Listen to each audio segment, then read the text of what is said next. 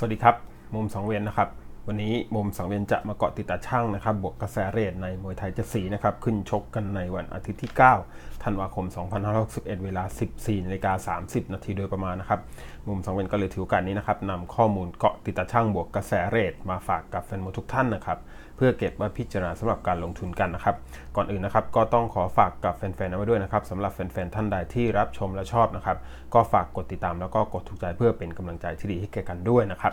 เราจะมาเริ่มการเกาะติดตาช่างกันเลยนะครับ โดยที่ผมจะเริ่มไปที่ศึกมวยดีวิถีไทยนะครับ ถ่ายทอดสดทางช่อง 3 SD ช่อง 28 เวลาเที่ยงตรงก่อนนะครับ หลังจากนั้นก็ตามด้วยมวยไทย7สีเลยนะครับ เริ่มที่ศึกมวยดีวิถีไทยนะครับ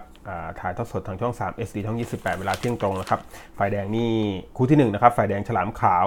ศูนย์กีฬาทาเสาหรือว่า 13 เหรียญรีสอร์ทนะครับ ฝ่ายน้ำเงินนี่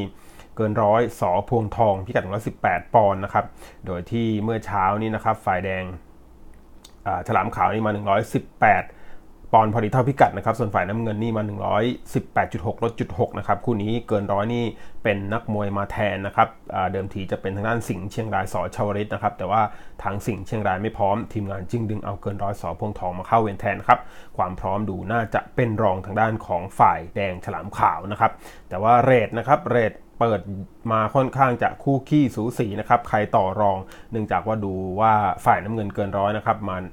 เนื้อตัวมาค่อนข้างจะได้เปรียบได้ได้เปรียบเรื่องส่วนสูงได้ลอยกว่าได้สูงกว่านิดๆนะครับเรทจึงเปิดใครต่อรองค่อนข้างจะคู่ขี้สูสีนะครับแต่ยังไงผมก็ยังชอบเป็นนักมวยตัวยืนอยู่ในรายการนะครับความพร้อมน่าจะดีกว่านะครับเพราะเพราะว่าเป็นนักมวยตัวยืนการซ้อมน่าจะเต็มร้อยกว่าส่วน ฝ่ายน้ำเงินเกินร้อยนี่เป็นนักมวยมาเข้าเวนแทน ความพร้อมดูแล้วเป็นรองนะครับเลดเปิดใครต่อรองชอบไปที่นักมวยตัวยืนอยู่ในรายการอย่างฝ่ายแดงนะครับฉลามขาวศูนย์กีฬาทาสาวหรือว่า 13 เหรียญรีสอร์ทนะครับส่วนคู่ที่2นะครับอ่าเป็นการพบกันระหว่างฝ่ายแดงนะครับ สิงห์ดำรถบ้านสมเกียรติตรังนะครับ ส่วนฝ่ายน้ำเงินนี่เด่นฮาซิม 13 เหรียญรีสอร์ทพิกัดแตกต่างนะครับ โดยที่ฝ่ายแดงนี่ สิงห์ดำกระดูกดีกว่าต่อย 137 นะครับ ส่วนฝ่ายน้ำเงินเด่นฮาซิมนี่กระดูกเป็นรองต่อย 139 ปอนด์ต่อกัน 2 ปอนด์เพื่อความเหมาะสมนะครับ โดยที่ทั้งคู่เมื่อเมื่อเช้านี้ทั้งคู่มาเท่าพิกัดไม่ต้องลดนะครับ เดิมทีคู่นี้จะเป็นลายเสือต่อยกับคุดเทพนะครับ ทั้งคู่ถูกดึงออกไป จึงเอาคู่นี้มาเข้าเวนแทนนะครับ เพราะฉะนั้นเรื่องความพร้อมดูแล้วไม่มีใครได้เปรียบเสียเปรียบนะครับ ค่อนข้างจะคู่ขี้สูสีนะครับสิงห์ดำ กระดูกดีกว่าจริงต้องต่อน้ำหนักให้ 2 ปอนด์นะครับ แต่วันนี้ได้เปรียบเรื่องรูปร่างได้ลอยกว่านิดๆนะครับ ต่อแต่น้ำหนักไม่ได้ต่อรูปร่างนะครับ เลทเปิด 5-4 อยู่ที่สิงห์ดำนะครับ กระดูกมวยดีกว่านะครับถึงต้องต่อน้ำหนักให้ 2 ปอนด์นะครับ แต่ว่าไม่น่าจะมีปัญหานะครับ เนื้อตัวนี้ยังดูดีกว่าอยู่เลยนะครับ ยังได้เปรียบเรื่องส่วนสูง วันนี้ผมก็ชอบไปที่ฝ่ายแดงนะครับ สิงห์ดำรถบ้านสมเกียรติตรังนะครับ ถึงแม้ว่าต่อน้ำหนัก แต่ว่ากระดูกมวยดีกว่า รูปร่างก็ได้เปรียบนิดด้วยนะครับ ชอบไปที่ฝ่ายแดงสิงห์ดำรถบ้านสมเกียรติตรังนะครับ ส่วนคู่ที่3นะครับเป็นมวยแทนอีกหนึ่งคู่นะครับฝ่ายแดงนี่ยอดสุริยาสอชวลิตนะครับ ส่วนฝ่ายน้ำเงินนี่ธงสยาม เกียรติทรงฤทธิ์พิกัด 127 ปอนด์นะครับ โดยที่เมื่อเช้านี้ฝ่ายแดงยอดสุริยานี่มา120 7.2 ลดจุด2ส่วนฝ่ายน้ำเงินนี่มา127 ปอนด์พอดีเท่าพิกัดไม่ต้องลดนะครับคู่นี้นี่เรียกว่าปาดหัวตัวเท่าเลยนะครับ แต่ว่าความพร้อมดูแล้วฝ่ายน้ำเงินธงสยามนี่ดูเป็นรองนะครับ เนื่องจากว่ามาเข้าเวนแทน เดิมทีจะเป็นเพชรตาแมวสอสาตราชกกับยอดสุริยานะครับแต่ว่าทางเพชรตาแมวแจ้งถอนไปนะครับทีมงานจึงดึงเอาธงสยามเกียรติทรงฤทธิ์มาเข้าเวนแทนนะครับ เท่ากับว่าวันนี้นี่ยอดสุริยานี่เป็นตัวยืนแถมได้เปรียบเรื่องหน้าเสือด้วยนะครับ เพราะว่าอยู่กับทางทีมงานคนจัดฟิตซ้อมอยู่ที่เก็บตัวแล้วก็ฟิตซ้อมอยู่ที่สจวิชิต 8 ริ้วนะครับน่าอยู่กับทางทีมงานคนจัดหน้าเสือดูดีกว่าด้วย แถมเป็นนักมวยตัวยืนอยู่ในรายการยังไงก็น่าจะดีกว่านะครับเลทเปิด 11 8 อยู่ที่ยอดสุริยา ชอบยอดสุริยาสชาวริตนะครับ ส่วนคู่ที่4นะครับเป็นฝ่ายแดงก็คือขาวผ่องเล็ก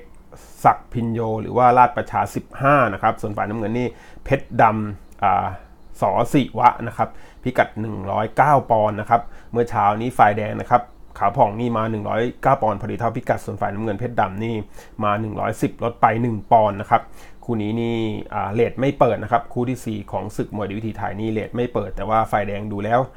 เรื่อง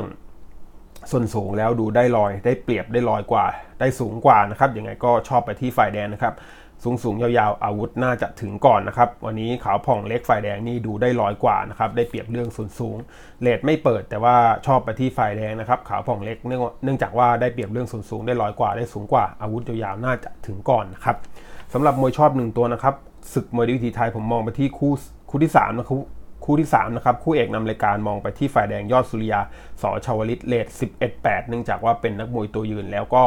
เป็นนักมวยทีมงานคนจัดด้วยกระแสการเล่นหน้าเสือน่าจะดีกว่านะครับเลท11 8 มวยชอบ 1 ตัว ชอบไปที่ฝ่ายแดงคู่เอกนะครับยอดสุริยา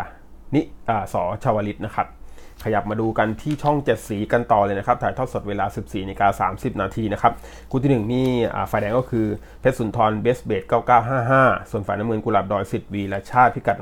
121 ปอนด์นะครับเมื่อเช้านี้ฝ่ายแดงเพชรสุนทรมา 121 ปอนด์พอดีเท่าพิกัดไม่ต้องลด ส่วนฝ่ายน้ำเงินกุหลาบดอยสิทธิ์วีและชาตินี่มา 121.4ลดจุด4นะครับเพชรสุนทรนี่ฟิตซ้อมอยู่ที่ สิงห์มนศักดิ์นะครับ โดยมีมานพชายสิงห์มนศักดิ์เป็นคนดูแลนะครับ เป็นมวยจังหวะเตะต่อยเขาในเหนียวอยู่แล้วนะครับวงพื้นเพเดิมนี่เป็นมวย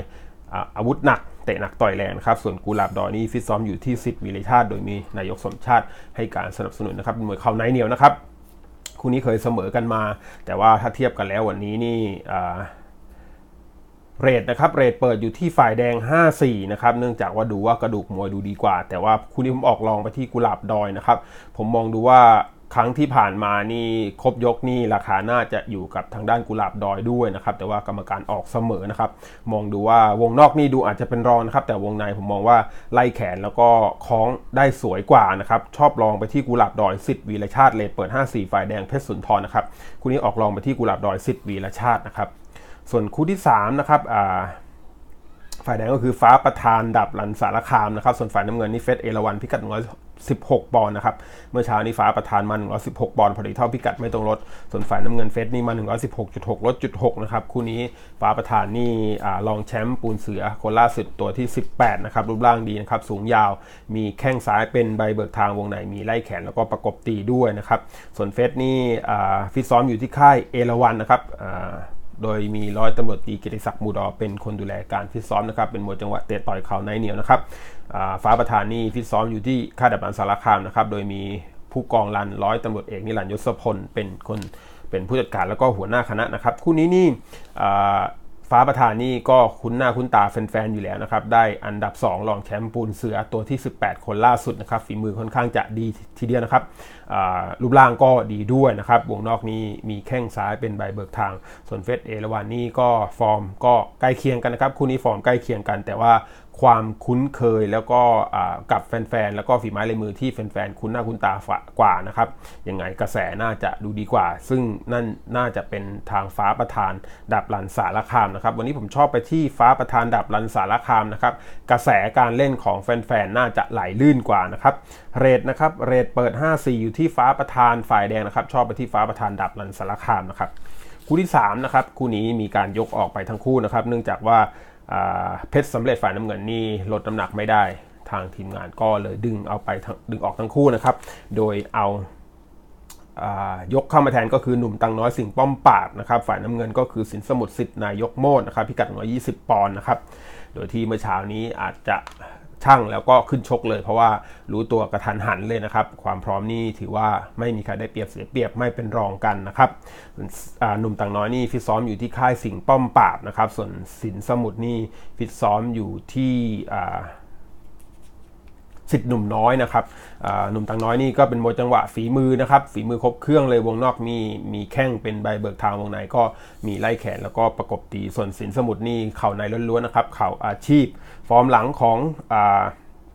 หนุ่มตังน้อยก็มีแพ้ชูซับสอสละชีพนะครับส่วนฝ่ายน้ำเงินสินสมุทรก็มีแพ้คะแนนพยักจิ๋วกีฬาสปอร์ตนะครับแพ้คะแนนมาด้วยกันทั้งคู่นะครับแต่ว่ากระดูกมวยผมมองว่าทางด้านของหนุ่มตรังน้อยน่าจะดูดีกว่าวันนี้มาแทนด้วยกันทั้งคู่นี่ ความพร้อมไม่มีใครได้เปรียบเสียเปรียบกันนะครับไม่มีใครเป็นรองกัน แต่ว่าผมเชื่อในจังหวะฝีมือของหนุ่มตังน้อยนะครับเป็นมวยที่จังหวะฝีมือดีนะครับชิงทำก่อนแล้วก็ป้องกันตัว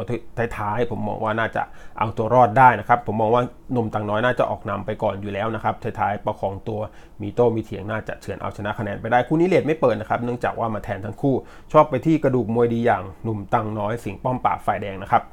ส่วนคู่ที่4นะครับป้อมเพชรสิทธิ์หนุ่มน้อยนะครับ ส่วนฝ่ายน้ำเงินก็คือเพชรนิรันดับรันสารคามนะครับคู่นี้มีการต่อน้ำหนักกัน 2 ปอนด์นะครับ เพราะว่าป้อมเพชรนี่เป็นนักมวยอยู่ในรายการ ส่วนฝ่ายน้ำเงิน เพชรนิรันดร์นี่มาเข้าเวนแทนศักดิ์นารินน้อยออ้วนสุวรรณซึ่งไม่พร้อมถอนไปนะครับ แต่ว่าเดิมทีนี่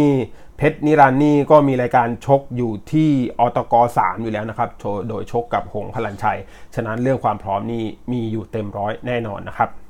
แต่ว่าต้องต่อน้ำหนักกัน 2 ปอนด์เพื่อความเหมาะสมนะครับ เพราะว่าเพชรป้อมเพชรนี่กระดูกดีกว่าจึงต้องต่อน้ำหนักให้ 2 ปอนด์โดยที่ป้อมเพชรต่อย 122 เพชรนิรันมาต่อย 124 นะครับต่อกัน 2 ปอนด์เพื่อความเหมาะสมนะครับ โดยที่เมื่อเช้านี้ป้อมเพชรต่อย 122 เมื่อเช้านี้มา 123.3 ลด 1.3 นะครับส่วนฝ่ายน้ำเงินเพชรนิรันนี่ต่อย124 เมื่อเช้านี้มา 123.3 นะครับ ขาดไปจุด7นะครับน้ำหนักขาดนิดหน่อยนะครับ คู่นี้นี่ความพร้อมถือว่าใกล้เคียงกันเลยทีเดียวนะครับบอมเพชรนี่จังหวะเตะต่อยเข่าในเหนียวนะครับเข่าในนี่ก็ถือว่าเป็นเข่าอาชีพอีกคนหนึ่งของป้อมเพชรนะครับ แต่ว่าวงนอกนี่ก็มีแข้งเป็นใบเบิกทางแล้วก็มีหมัดคอยต่อยรบกวนสมาธิคู่ต่อสู้ด้วยนะครับ ส่วนฝ่ายน้ำเงินเพชรนิรันนี่เข่าในล้วนๆเลยนะครับบอมเพชรนี่ฟิตซ้อมอยู่ที่ค่ายสิทธิ์หนุ่มน้อยนะครับโดยมีหนุ่มน้อย เมืองหัดใหญ่เป็นคนดูแล แล้วก็เล็กสมสกุลมวยหูชื่อดังมา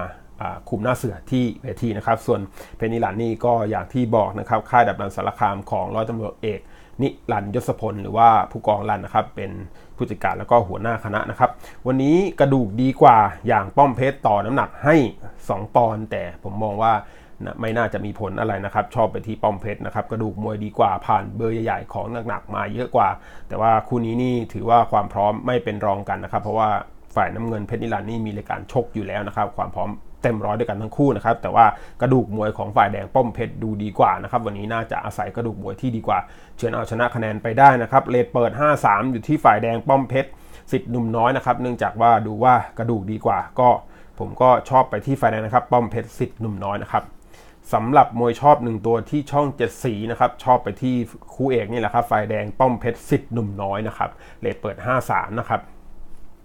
สำหรับวันนี้นะครับก่อนที่ท่านจะนำไปลงทุนขอให้ท่านนำไปวิเคราะห์ก่อนอีกครั้งนึงนะครับเพราะว่าการลงทุนนะครับตั้งอยู่บนความเสี่ยงเพราะฉะนั้นผู้ลงทุนควรลงทุนด้วยความมัดระวังนะครับถ้าอยู่ตัวดีก็บังอันเอาไว้หน่อย แต่ถ้าอยู่ตัวไม่ดีนะครับขยับขยายเอาตัวรอดให้สำเร็จนะครับแล้วท่านจะมีความสุขกับการลงทุนในวันนี้นะครับอย่างที่บอกนะครับมวยชอบอาจจะไม่ใช่มวยชนะ 100%เสมอไปนะครับอาจจะแพ้หมดเลยก็ได้นะครับฉะนั้นท่านเอาไปวิเคราะห์ก่อนการลงทุนอีกครั้งหนึ่งนะครับแล้วก็ขอทุกท่านโชคดีกับการลงทุนในวันนี้นะครับวันนี้ลากันไปก่อนครับ สวัสดีครับ